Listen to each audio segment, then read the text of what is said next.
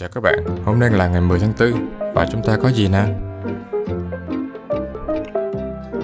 Hôm nay chính là ngày anh chị em.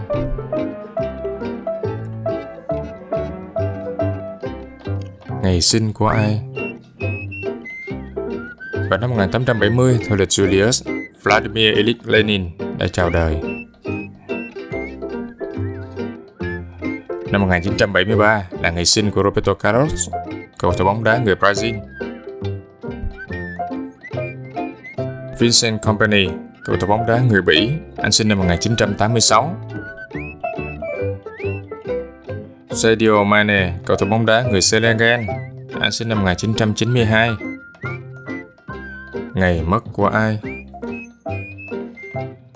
Năm 2010, vụ tai nạn máy bay Tu-154 ở không quân Ba Lan đã tước đi sinh mạng của Ryszard Karowski, tổng thống thứ sáu, Maria Kaczynska, đệ nhất phu nhân Ba Lan và Lech Kaczynski, tổng thống thứ tư của Ba Lan. Sự kiện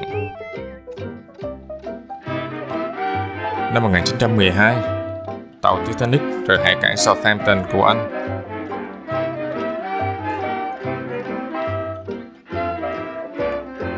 Năm 1925, tiểu thuyết đại gia Gatsby của nhà văn Scott Fitzgerald được phát hành lần đầu tiên tại New York.